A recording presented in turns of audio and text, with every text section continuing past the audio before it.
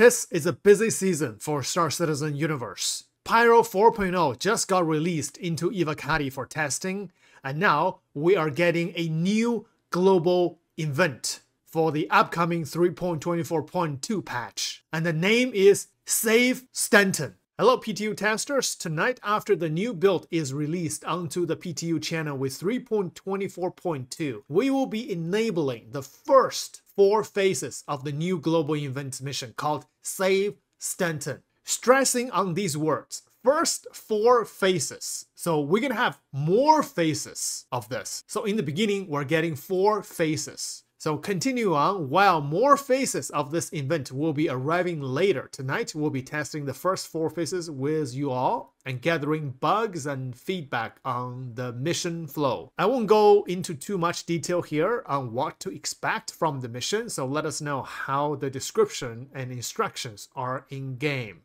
Okay, so CIG will not tell us too much details about this global event. But judging by the amount of phases it has, this could be another Overdrive initiative. And that Overdrive initiative is a long multi-phases event. And at the end of the event, we get an upgrade for the F7A Hornet Mark II, which is part of my ship giveaway in one of my videos. I wonder if we're gonna have another ship sale or ship upgrades from this event or not. So these are the known issues. Let's see if we can get some details out of this. Phase 1 Mission B, Missions Cargo. Delivery objective does not update the amount needed to deliver. Workaround, if Mission B retrieve cargo is blocked, they can just play Mission A. So phase 1 alone, we have a Mission A and a Mission B and there's some kind of a cargo transferring involved, retrieving cargo and delivering cargo.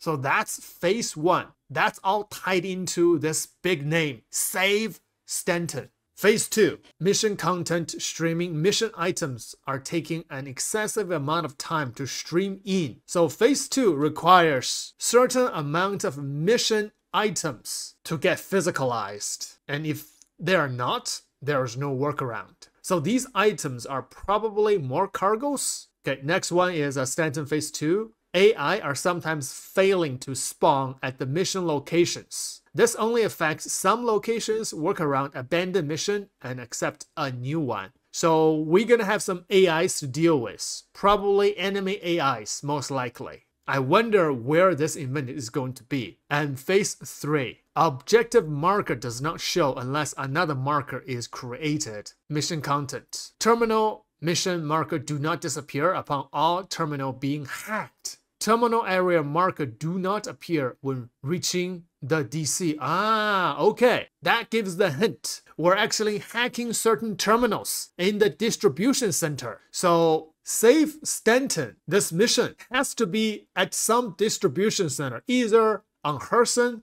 or Microtech. And it involves cargo delivery and fighting AIs and hacking terminals in the distribution center. And these are only the first four phases of the mission. So Judging by what this is going, I feel like this could possibly be another overdrive initiative. So you're hacking terminals at the distribution center, and then you have to go to maybe jump gates, pyro jump gates, for example, to defend the Stanton from attackers. I really hope the Van Vanduuls are attacking us. I really want to see an alien invasion in the Star Citizen universe, but I don't think that's going to happen in the PU, at least not before Squadron 42. But we're probably going to have some very epic space combat later at the Phases Ghost because this name is very big, Save Stanton. And I wonder, at the end of the event, what ship will be on sale from this event, or what ship upgrades we can get. Probably an Idris upgrade?